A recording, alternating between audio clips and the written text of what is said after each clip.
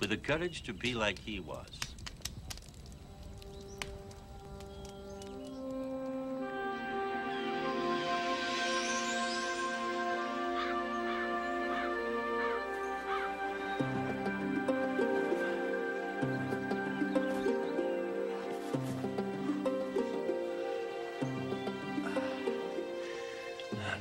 Hey, Billy.